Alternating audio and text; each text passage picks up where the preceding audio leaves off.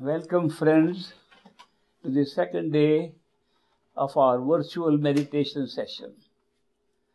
I spoke to you yesterday about the importance of putting your attention behind the eyes in the darkness that is created by closing the eyes.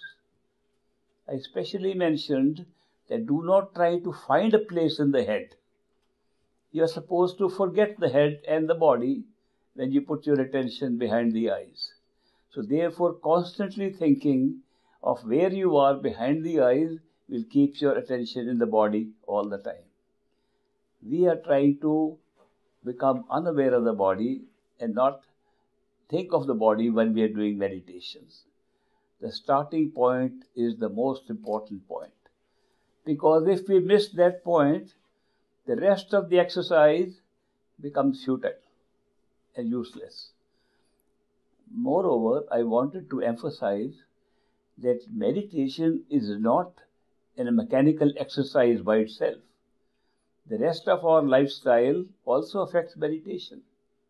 Supposing you had a fight with somebody and very angry, you try to meditation, there is no way that you will be able to put your concentration at the third eye center. Supposing you are very hungry or you've overeaten and you're too full, you will not be able to put your attention at third eye center. Supposing you are solving a problem, worldly problem, which is occupying your mind, you will not be able to have effective meditation. So meditation is not a mechanical exercise that can be done in any in any state of being. It requires the rest of our lifestyle to be consistent with what we are trying to do. That is why you have to be calm otherwise. But how do we become calm? The answer is by meditation. Therefore, a lot of meditation we do is just to prepare for real meditation. We meditate to become calm, meditate not to think of hunger or, or too much food in us, not to think of the problems we have, not to think of what happened in the office or the shop or our business, but to concentrate on being ourselves, where we are lot of meditation therefore goes into preparing yourself for real meditation. But for real meditation, you have to be present at the place where meditation should take place, which is third eye center. Why do we call it third eye center? People have called it the center of consciousness. People have called it the center of wakeful consciousness. People have called it the nukta, the dot, the point. Many words have been used to describe where we have to start meditation. Why do we call it third eye? The third eye is called because the two eyes do not see the same thing. The two eyes are separated by a short distance, as you can see. And if you look at the picture the two eyes make of any scene, they are different. The two eyes do not see the same thing.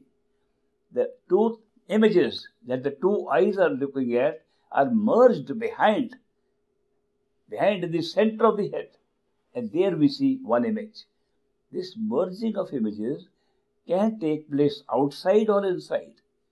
In 3D movies nowadays, they put ex- eh, extra glasses on your eyes, polarized glasses or glasses different colors, so that two separate scenes on the screen merge and looks like it's a three-dimensional work.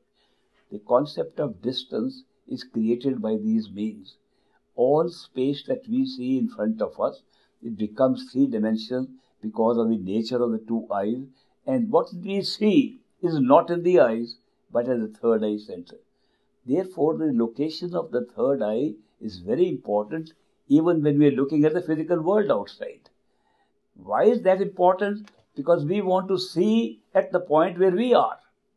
And that's the reason why the third eye center behind these two eyes is considered the seat of our wakeful consciousness. I explained yesterday that when we go to sleep, this notional point where we are shifts because we are no longer using these eyes to see the dream sequence. Therefore, the dream sequence is created by another set of eyes, which are dream eyes, and they are operating in the physical body at the level of the throat. When we are seeing nothing for a time in the sleep, they descend further toward the heart center. Many dreams that are very traumatic and very emotional are coming when we are just moving from the heart center up to throat center. There is a lot of study that's going on how these dreams are created, where do they pick up all these images, and the interesting thing, there's a huge data, huge data in our own mind from where all this can be picked up. Now the data sometimes think people think maybe in the brain.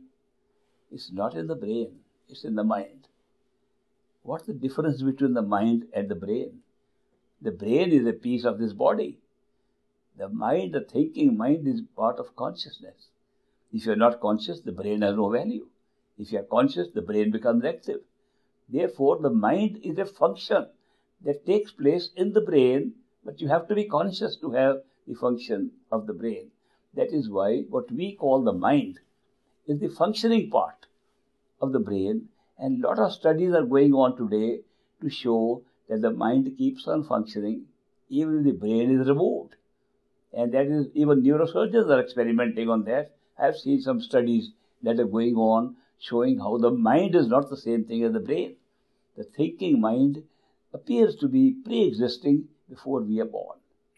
Whether it is uh, carried by the genetic process, whether it's carried otherwise by means we do not know yet, the mind appears to have a longer history than the brain or the body. And that is why all these dream sequences that we can pick up and all the uh, other scenes we pick up in the meditation also are all stored in the mind for thousands of years, maybe millions of years. That is why the mind is not a new entity, it's a very old entity that has a much longer life than the brain or the body has. So these information that the mind holds cannot be held by the brain. And therefore the mind holds a lot more data than the brain can. And we are able to pick up in meditation a lot of information about our past lives, about our functioning in a different way, in different bodies even in the past. All this is possible because the mind carries information that the body and the brain cannot carry. So we are now talking of a third eye center, which is a notional point where we feel we are sitting in the wakeful state. The importance of this is if you want to go to a lower state of, of uh, experience like a dream, then you can Forget about where the third eye center is. At, at night, people sleep without ever knowing where the third eye center is. But if you want to maintain your level of awareness, your level of consciousness at a higher level than where you are currently in the wakeful state, then it is important to start your meditation in the wakeful state. In the wakeful state, we want to be where the third eye center is, where we are. We don't have to find the third eye center. I get a lot of emails from people. Oh, we want to locate where the third eye center is. We have a big problem. We chase around where it is. Is it inside, outside? We can't find it. Naturally, you can't find it. You are there. When one is somewhere, he can't find any other place. You are already there. In the wakeful state, we are all in the third eye center. There's no other place to be in. If we were not at the third eye center, we could neither see with the eyes, nor hear with the ears, nor do anything else. That is why the third eye center is a natural location of a wakeful state, and meditation begins in the wakeful state. You cannot meditate if you are sleeping. You cannot meditate if you are even drowsy because you have moved your attention from the third eye center. You should be fully awake. Some people try to meditate early morning when they're half asleep. And meditation doesn't work. They go off to sleep very quickly because they have not even uh, uh, uh, woken up enough to be at the third eye center. I have recommended to a lot of people. And it has been practiced by even big saints to take a cold shower if necessary, be completely awake, take a walk if necessary, get up and take a walk, and be ready to be completely awake before you start meditation. It's a very important thing. So you use the meditation as a calming influence to prepare you for meditation. Then you explore what can you see with your imagination. with your eyes closed in the space that you're creating by closing the eyes. Once you see the space, the big space in front of you, around you, behind you, then you begin to do activities over there. You function as if that is where you are. The more activities you have there, the more you will be able to succeed in collecting your attention there. There's one little problem. Not a small problem, but almost everybody has it. The problem is when we are trying to figure out things from there, we are thinking of what is happening outside and we are trying to bring those outside things into our space inside. So the attention is still going out because we are trying to think in words, in images about things that are outside. That is why, to overcome that problem, we have been recommended that use some simple words for repetition so that the mind repeats those words and is busy repeating the word cannot think too much about outside things.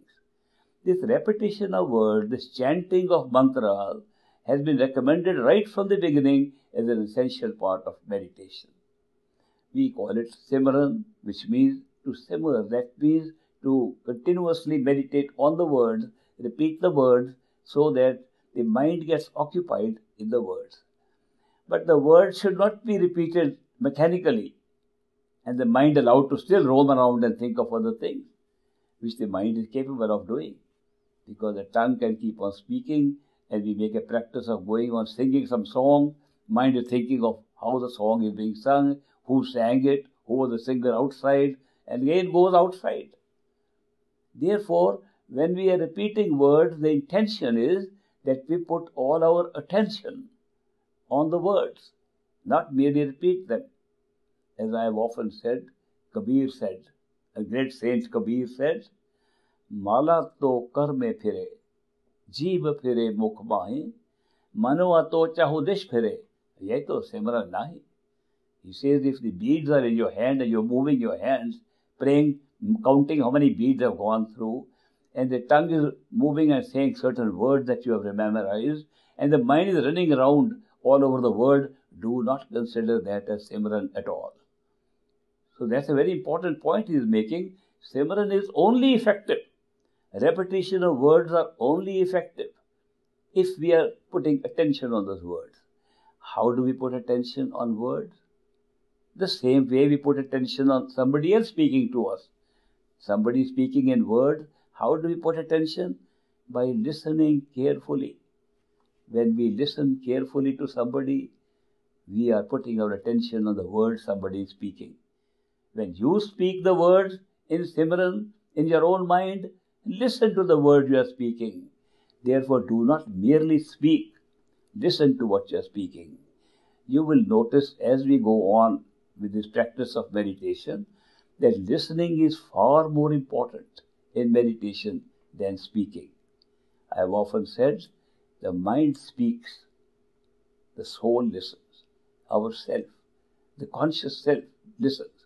It's a very good listening capacity our true self has which even the mind, the body, the sense perceptions don't have. We have a greater listening capacity. These ears don't have that capacity which we have to listen inside. So that is why the practice of listening to what you are repeating is very important. Otherwise, the value of Simran goes down.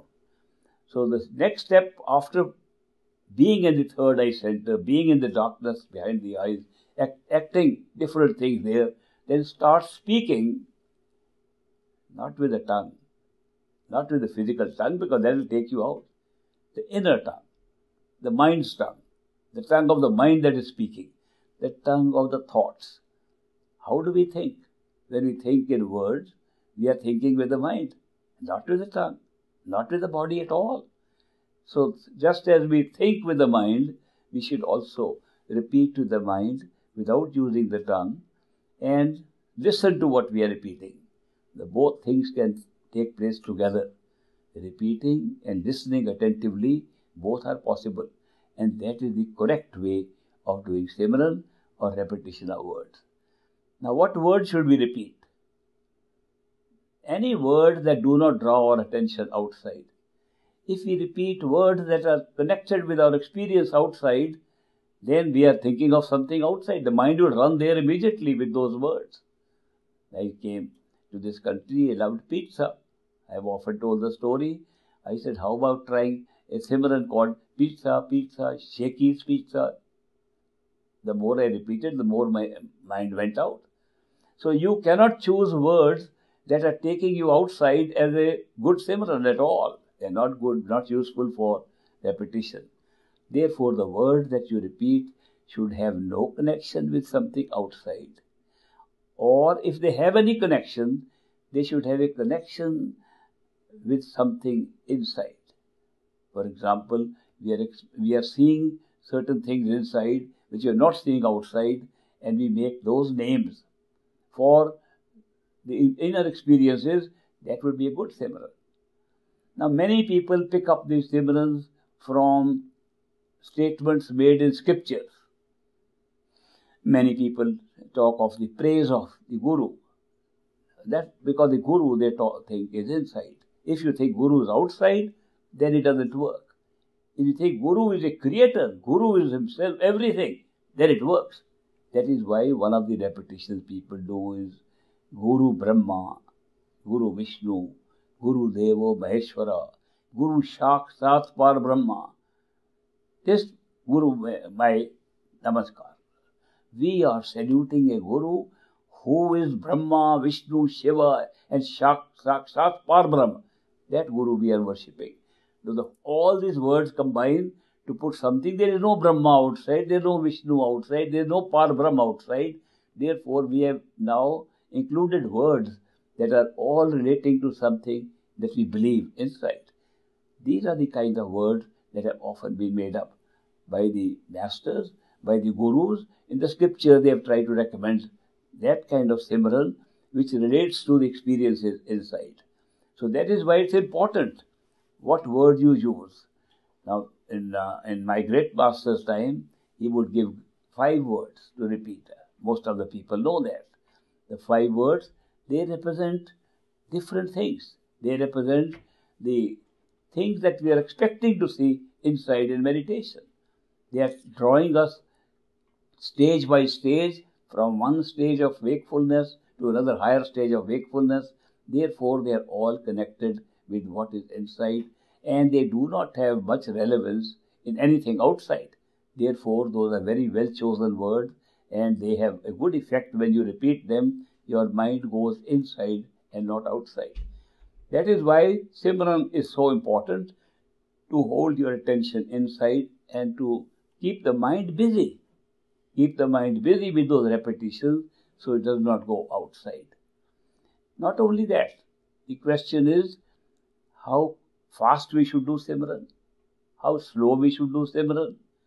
People have uh, often asked that question because some people thought that the value of Simran is how many times you have done it. If the number of times is important, we have to rush through and repeat very fast. And some people are doing it.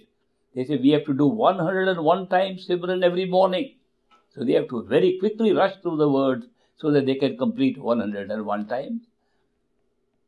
Some people say the Simran should be done very leisurely, one word at a time, and a pause in between, so that the pause can consider what I have, what we have said. That As if we have to have a pause to consider the meaning of the word. That we have to give meanings to words in order to understand what the Simran is. Both of these are incorrect methods of Simran because both of them will draw your attention outside. Counting outside, counting is a process outside, counting fast is a process outside, pausing in the middle is a process of thinking outside. Therefore, the correct way of repeating the Simran is to repeat in a slow, steady way without any pause. And that is the best way to do Simran. And if you do that way, the ability to listen to that Simran increases. If you do the other way around, the capacity to listen becomes less. You cannot listen with yourself uh, if the Simran is either too fast or too slow. Therefore, to have a good effect of the Simran, to control the mind from going outside, it should be repeated slow and steady without any gaps between the words. This should be a continuous Simran. Now, if you are able to do Simran, you are able to hold your attention on the word that the mind is repeating. That's a very useful exercise. What will happen if you keep on doing it? It's a strange experience.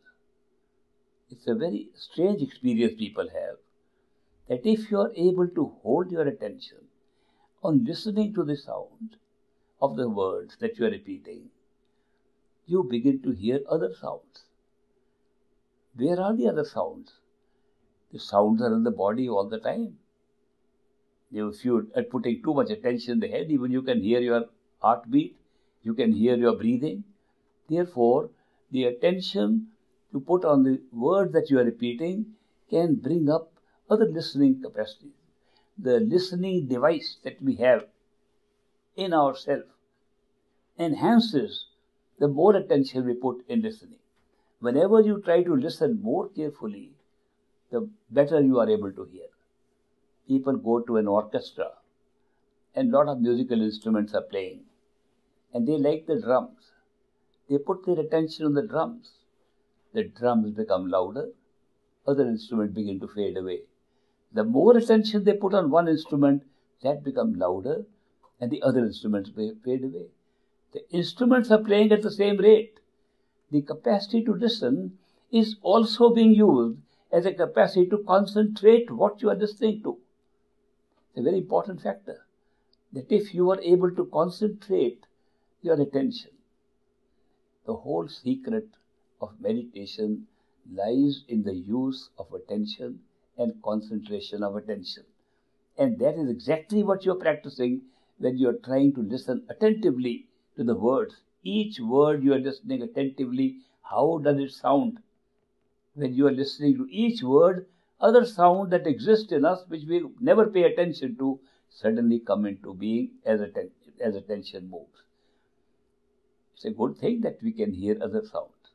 Some sounds are physical, and therefore they are created by the blood vessels moving, they're created by breathing, they're created by other natural things that are happening in the body. But those sounds which are not being created by any part of the body or anything from outside, but are only natural to our own self, to our own conscious self, those sounds have a very strange melody of their own. The melody is so good that you can't see any break in them, there's no harshness in them, there's no beat in them, but it's a continuous melody. It's a very strange kind of sound that you can hear, and when you want to listen where it is coming from, we lose it. Why? Because we are so used to listening with our ears that we always want to point to a direction to hear where it is. The two eyes were given to us so that we could see a three dimensional world. Two ears were given to us so we could determine a direction from where we are listening. The direction is immediately uh, determined one ear hears louder than the other, and we know that's the direction from where it's coming. Now, we are so used to listening with the ear that when we hear any sound, our attention gets moved to one or the other ear. Where is it coming from? Very often, we find some sounds that we can hear are themselves moving to whichever direction we listen to. They go to left or right, depending upon where we put our attention. It takes some time in meditation to discover that those sounds are not coming from the left or the right, they are coming from within yourself and your attention. When you move your attention, the sound seems to be moving too. So that is why it is necessary not to lose the center of your location. Wherever you feel you are, do not go right or left for listening to sounds that come by themselves. The real sound that can be used for effective meditation, even higher than the Simran we are repeating, even higher than the visualization we are doing, is to put attention on the sound that's coming from within yourself. What is the distinction with this sound and the other sound that we can hear? Distinction is this sound coming from within ourselves. If we just stay in the center, looks like it is all around us It's like a surround sound. It is like a sound that we cannot determine. Whichever side we want to think it's coming from, it comes from there. If we don't move, it's coming from all around it. As if you are having a shower of sound around you. But that's not the only way to discover it, because in the beginning, this sound has some resemblance to the sound of a big bell. These church bells which were installed, the bells that we use in the temples, they were all supposed to signify that there's a real sound inside which we can hear. It resembles the bell sound. The big bell, if it rings, it creates a dong sound and there's a peal to the bell. The peal of the bell contains the melody. The hit of the bell takes away the melody. So supposing you pick up only the melody of the big song, it has a little vibration in it like the bell sound has, but it is a continuous sound. That particular sound is the first form of the sound that we can hear of our own self. It's a very important point that you should be able to recognize that sound. Because you may hear other sounds too. And if you are hearing a number of sounds of different kinds, then you have to pick one on which you can put attention. And that is why the sound coming from the self is the one which you should pick up. In the beginning, you may hear only sound from the sides. You will, you will be creating sound from the sides. So do not miss them. Try to practice them. I call them practice sound. There are several practice sounds that people hear. They hear like drums playing somewhere. They hear like thunder outside. They feel there's thunder outside, we're hearing from outside. They feel some trucks are passing on the road outside. They feel a train has come and stopped outside. They feel the, the echo of the train outside. They feel a whistling sound outside. There's sound of little crickets chirping, little birds chirping, sound of little bells ringing. All these sounds come and they are all sounds which I call practice sound. Do not ignore them. Listen to any sound for practice of developing your capacity to listen better. The practice sound means to practice the art of listening. The art of listening is very important in meditation. So when you practice the art of meditation by listening to any sound, then you are able to, when the real sound comes, you are able to put your attention on it more easily. It's an exercise that takes time. And since we have practiced listening to the Simran, that practice of listening to the sound of the Simran is what makes it easier for us to hear the sound of the self. And that is why it's even more important to do Simran, not only to take your mind off from outside things, but also to practice the, uh, practice the art of listening. Listening is very important. So when you listen to yourself, what happens? there is no faster way of drawing attention to yourself. What are we trying to do with meditation is to discover who we are, our reality, who we really are, not the body, not the senses, not the mind, not the thinking mind, not any concepts of ourselves. Who are we? That's the whole purpose of discovery. And that is why it's a very important question. Who are we? Who is the self? What's the nature of the self? Listening to the self is the fastest way to move to the self. And that is why it's the best possible way that I have studied. After studying so many methods of meditation, so many practice with yogis and swamis, so many practice with others, there is no faster way to get to a realization of your own self than listening to yourself listening to the sound of yourself. It looks like a sound because it has to look like something to start with. We are used to five senses to perceive the whole world, and we have to use some sense to make sense of what is going on inside. That is why it looks like a sound. Not only looks like a sound, sounds like a sound. You can hear it, you can listen to it. But is it really a sound? Is our real self merely a sound? Looks absurd. That the sound is ourself.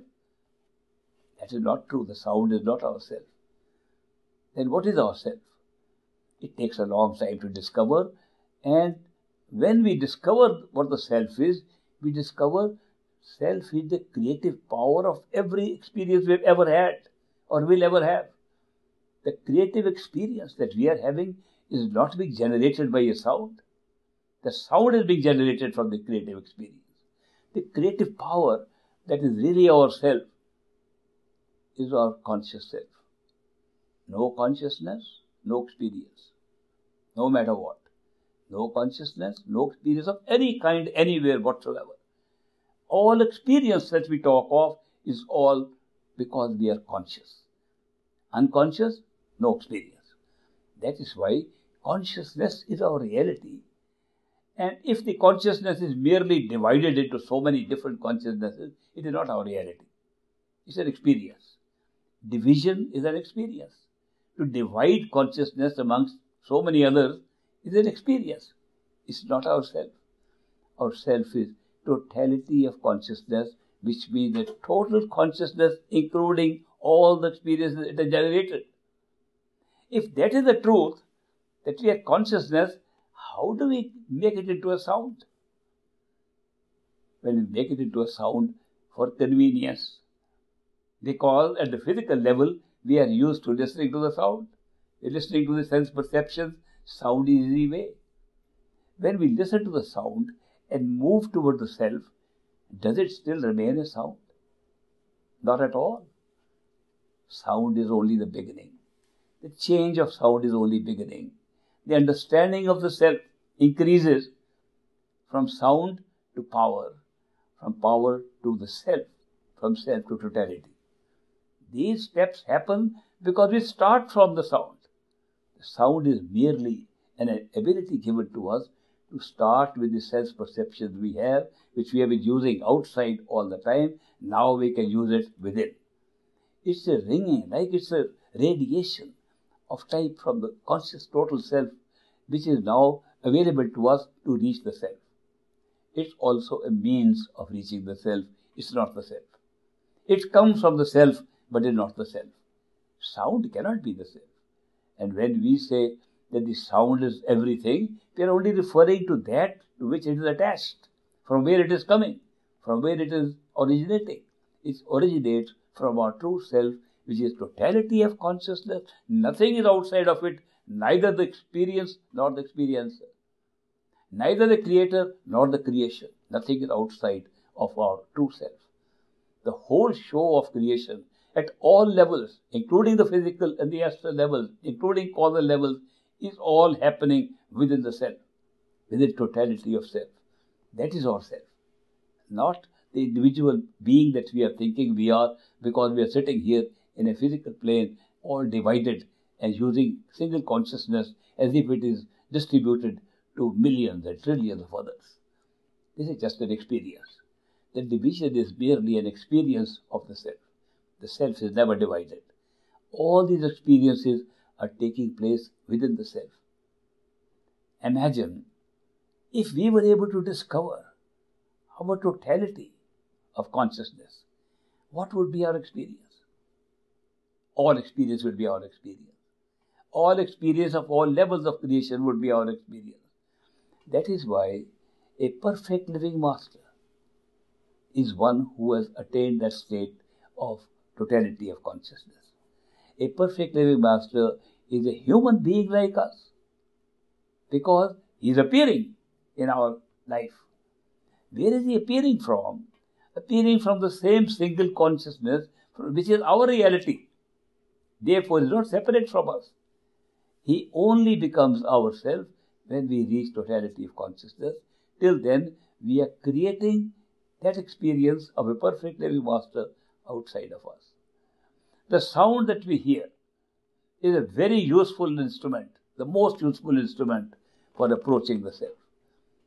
If you are able to put attention on that sound, the bell sound, it pulls you towards the self like no other means can do. Sometimes it frightens people. Sometimes they get frightened. There's too powerful pull. They don't realize they're pulling it to your own real self. We are so used to not living in a real self, but living in covers upon the self like our physical bodies, we don't like it. We feel the body is our self, This body will die one day. We are afraid of death. Then we'll end then. What will happen to us? We have no realization at all. The body is a very temporary experience. And the body will die. Every body dies because it's made for that purpose to have a short experience of a physical world, physical matter. It's only a short term arrangement made by consciousness itself. That is why when we use the sound for drawing ourselves, I have recommended to my friends take it easy, go slow. Do not try to leap too fast. I remember my own dad, who was also a disciple of great master Baba Sawan Singh, when he was very keen to find the truth inside, and when his attention was pulled by the sound, he felt he was dying.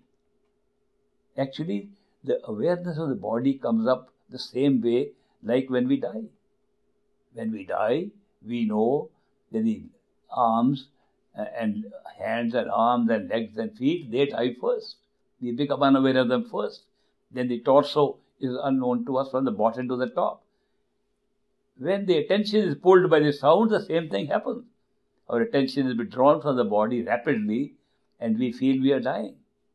So, therefore, the fear of death is so strong in us because we think it's the end of our uh, entire existence, end of our entity, that we will no longer be there at all. And that is why the fear of death prevents us from going too fast towards our own self. He, my dad, when he got that experience, he was so frightened. He said, I am not going to do any more meditation. This is like committing suicide. So he went back to Great Master and said, Master, what kind of initiation have you given me? What kind of method have you taught me? It kills a, kills a person. I almost died. And Great Master said, Lekh Raj, that was my dad's name, shall I give you some statistics? People can die at any time. People die while they're reading a newspaper. People die while holding a cup in their hand before they can take a sip. People die in their sleep. People are dying in every state of being. Have you ever heard of a death taking place in meditation? Not a single case has been reported. You understand that meditation prevents death from coming while you're meditating. It's a remarkable thing. So one does not die. The experience of death you had, that you are going to die, is a good experience. What does Guru Nanak say? What does Kabir say? What do all the saints say? Die while living. They say the real spiritual path is to die while living. Experience what death would be like while you're still living. You will still live, but you will have the experience of what happens when you die. It's a very useful experience because you will not be afraid of death after that. You will know what dying means. You will know you don't actually die. It's only the body that dies. The body, you become unaware of the body. You leave the body but you are not dead. So therefore, don't worry too much. My dad said, I understand statistics. I don't know if they will apply to me. I am still afraid. The great master said, What will happen supposing you actually die? What do you expect? He said, I expect you to be there. He said, I will be there. Uh, is that giving you some consolation? He said, Yes, that makes me feel a little better that you will be there to take care of me. But he said, Great Master said, Still I advise you, don't rush through. Do a little step at a time. Let your hands and feet die first as you get up. Let your arms die, legs die, then you get up. Meditate in stages. So you get used to the withdrawal of attention from different parts of your body, and that will take away your fear also. The same thing I'm recommending to everybody now, because people have similar experiences, like my dad had. Therefore, I am suggesting we have waited for a very long time to get a chance to discover ourselves. We have been locked into this experience of the physical world, birth after birth, again and again, millions of times. It's after a very long time you get a chance to get out. So don't rush now. there's plenty of time to go back. They say sometimes that the path is not a one lifetime path. Swamiji says to the Singh of Agra, he defines the timeline for Way to true home as four lifetimes. He says, Ek Janam Gur Bhakti, Janam Dusre Naam, Janam Tisre Turyapad, Chauthe Me Nijdham. He says, one life is good enough to develop love and devotion for a master. And you, it's worthwhile waiting for the second life to get initiation by a master. You can get up to the causal plane in the third life. You go reach your true, true home fourth life. Normal timeline is not a few months or a few years, it is four lifetimes. But in this age, the Iron Age, the Kali Yuga, everything has been speeded up. So we are in a very lucky situation. In earlier times, we would take much longer. Now we can achieve the same result in the same lifetime, in one lifetime. We can achieve the same result in a few years of our lifetime. So, but don't be in a hurry. Don't take meditation as something that we have to use quickly to get some results. That is not meditation. Therefore, take it easy. Take Simran easy. Understand the nature of Simran. Understand are you repeating with the tongue and thinking of other things, or are you putting attention on the Simran? Practice that. Practice for quite a while. Then practice when the sound comes, practice listening to the sound. Listen to all the sounds for practice. And then look at the sound that is surrounding you that's coming from the center. It looks like center, above, below. It looks like it's all around you. That sound and resembles the sound of the bell, of the big bell, especially the peal of the big bell. If you can put your attention on that sound, you will be able to withdraw attention, become unaware of your physical body faster than merely by repetition of Simran. Now, if you are able to hear, what will happen to the sound? The sound changes. The sound never remains the same. Even the bell sound changes. It changes into its peal and becomes a continuous sound. When they try to refer to, they try to compare these sounds with other sounds, they're calling the second phase of the sound that it changes from the beat of the bell, the rhythm of the bell, and becoming continuous peal, one single peal becomes larger and larger. Then they compare it the playing of the conch that you play.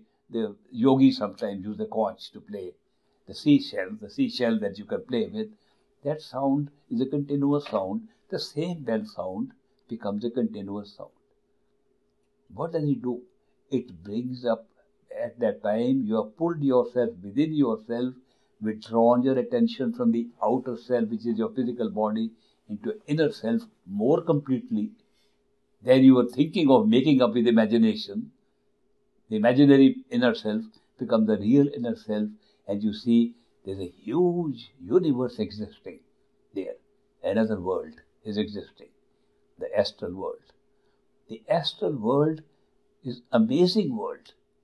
It is so amazing that it's unbelievable it exists. But if you go there, anything you imagine becomes the reality. Anything you want to learn can be learned very fast. There is a copy. We, our world is a copy taken from some parts of the astral world. The astral world difficult to describe. Time and space are so different there. You can contract space, expand space with your will. You can halt time with your will. You can freeze time with your will. I remember as children we used to play a game and somebody would shout freeze, we had to stop exactly where we were, the same shape. I didn't know the game was coming from the astral plane. Then we can do that. The astral plane has memories recorded which you can see. Astral plane has the capacity to see things which you cannot see here. But astral plane makes us discover that what we thought was our free will was a will predetermined by us much earlier than we thought we were using our free will. It's a great experience. if I was starting to explain to you the astral experiences, I could spend the whole day explaining what is happening at the astral plane. We have reached a point where we find that the sense perceptions are not functioning because of the physical body.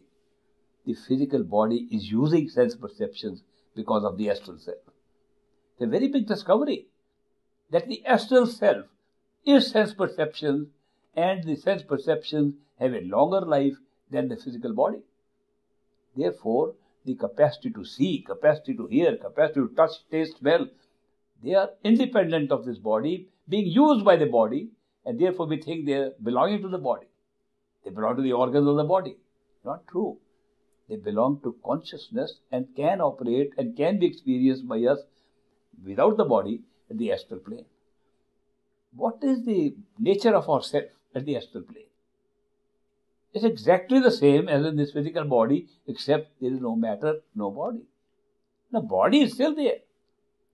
Body is there, made up of sense perceptions. Now, here, when we're sitting in a body, we know we have hands and feet and all. Are these hands and feet the real thing and we are sitting in it?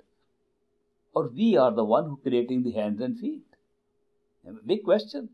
The cause and effect can be all topsy-turvy when you discover the truth. You discover we create these. From where? From the astral sense perception, we create this body. And we also create an astral body the same way. We have the same shape of the body, slightly larger, not heavier. No need to lose weight there. No, half my business will fail. I was trying to make some things for weight loss. In the astral plane, they'll say, dismiss, your company is gone, finished. Because there's no weight loss, there's no weight. Weight is created by matter, not by perception. On the other hand, not only the sense perception, the same we are using here, much finer, much sharper, because this body obstructs part of the use of that perception. So it is much sharper, but the mind that thinks is still the same. The self that is giving us an identity, I am so and so, is still the same. The self does not change. The mind does not change. The sense perception don't change. The only change is that we experience a new self, light, with all capabilities of perception, and able to fly anywhere it likes because there's no weight in it. Just push yourself and you are in the air. You can come down. It's amazing experiences. We sometimes have these experiences in dreams, like we can go, because in dreams we have no weight either. The, this is why sometimes called a super dream. That we are in a higher state of consciousness above the physical. Dreams are lower state of consciousness, but both have no matter. This physical world is made up of matter. So that is why the astral plane is a great experience. But that is not our true home. A lot of people think it is a true home. Why do they think? Because true home is far beyond time and space, and this place is totally in time and space. Just like this physical world. The astral plane has experiences high and low like we have in this physical world. Sometimes to an extreme. What the extreme experiences are, the most pleasurable experiences are generated in a part of the astral plane we call heaven. The worst experience is more terrible than the one we have here, another part of the astral plane called hell. Heavens and hells that people talk of, religion talks of, located there. That is why when we speak of going to heaven to meet God, the astral plane is our heaven. That is why religion, all religions, have personified God. They have a personified God as if He is a being like us, but a much bigger being who is present everywhere. But we can't see His shape because He is formless. But He is a being like ourselves and therefore we can worship him, and he's sitting in heaven. We make him a being, a personified person, sitting in heaven, ruling all the world. Now, when that happens, every religion has done that. Every religion has not gone beyond that. Therefore, the heaven and hell we talk of is all an astral plane experience. His religion has personified to such a great, extent that we want to praise that God who is personified. God is great. It's all God's blessings. Let's pray to God. It's a personified God. Allahu Akbar. God is great. Ishwar Parmeshwar, highest beings. We are calling the entity that rules the universe, the astral universe and the physical universe as God, Allah, Ishwar, Zeus. They're all personified and they all come from the astral plane. Therefore, when we say you can go or sit next to God, you can. Because God is personified as we see it there. Who is that God? Who is that being? Religion may not like the answer. It's a soul that has done such a good job that its karmic reward is to be that creator. It also has a karma, and there's a good karma to become that. It's a, that the creative power is being expressed at that level by something as wonderful, as unique as a human being here. It, it makes it very easy for them to personify a God. If I were to say, no, there is no God, our reality, totality of consciousness has no meaning. It's outside of time and space, no concept. That is why religion succeeded, the spirituality failed. Religion became more popular than spirituality. Spirituality was taking us beyond these gods, beyond any personification, beyond any individuation, to totality. It tells us perfect living masters come here as symbols of totality of consciousness. And what they teach us is to go beyond. Therefore, we can go and explore the astral plane. People stay there for a thousand years. Even initiates of perfect living masters who want to go to their true home to totality are caught up in the temptations and distractions of the astral plane. The astral plane is very similar to distractions like the physical world. That is why it's important to remember this that the astral plane experience is not our goal, it's not our destination for meditation. We have to go beyond. To go beyond the astral plane, the method is still the same, which we use here on the physical plane. To put attention on ourselves behind the astral eyes with which we are seeing that plane. To put attention on the self, on the sound of the self, which is completely changed now. It's a different kind of sound that's pulling us. A sound that looks like the sound we were hearing whether we close our ears or not. Here, sometimes it aids us to close our ears to be able to hear an inner sound. There, the sound is playing inside and outside at all times. It's a continuous sound. We don't just put attention. Don't have to try to listen to a sound. You put attention on what is already there. What happens? You move to a totally different form of experience from where everything has been generated. It is where the mind comes from. It is the thinking machine we call mind is also like a body. That's why sometimes we call it the causal self, the causal body. The mind we discover for the first time is also like our body. To go beyond that is not any meditation. Meditation stops at the causal plane. Because we meditate with the mind. We use words of Simran with the mind. We listen with the mind. We use our attentive power with the mind. Our attention is now being generated by the mind.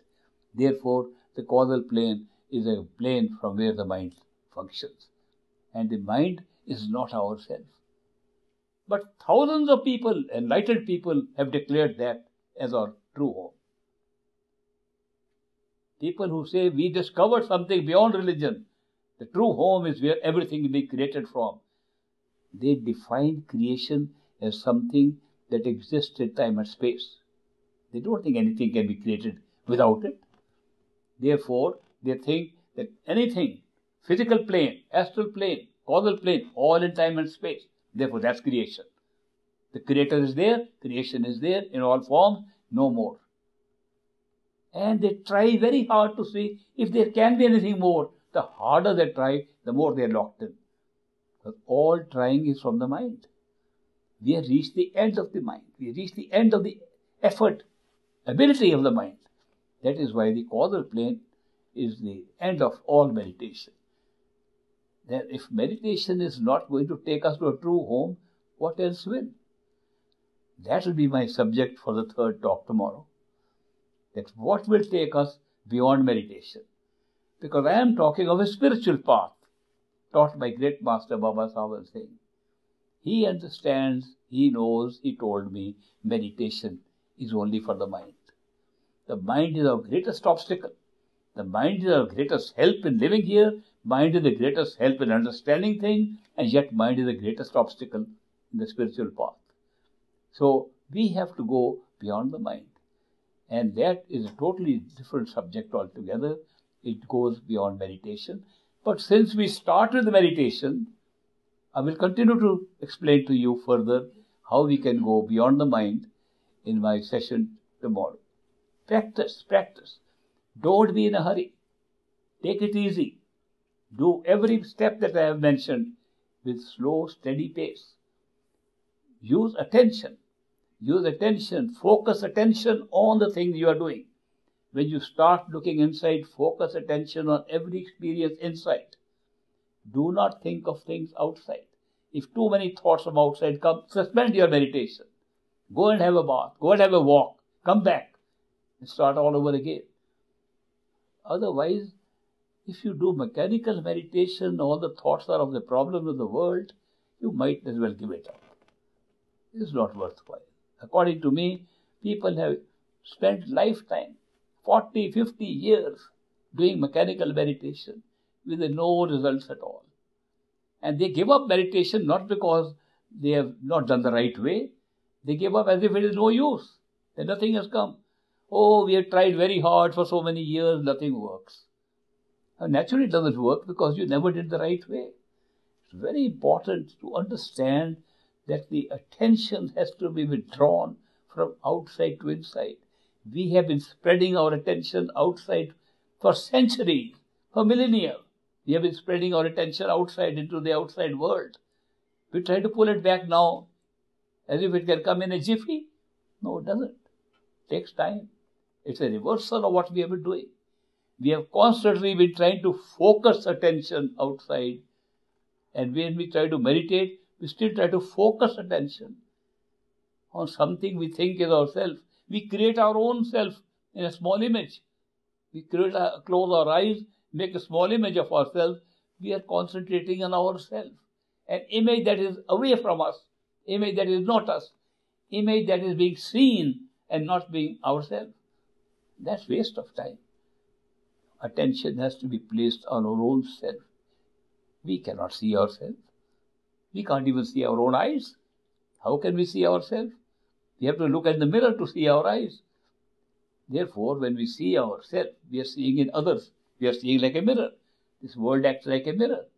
But the meditation to be effective has to be to discover your own self.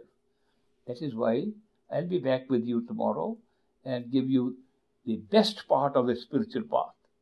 The path that leads you beyond the mind, beyond this obstacle to our spiritual path, beyond the mind that's creating all the misery for us, to a state where you can be beyond that misery. And that is the true path. And thank you very much for very patient listening to me. And I'll see you tomorrow. All the blessings of Great Master.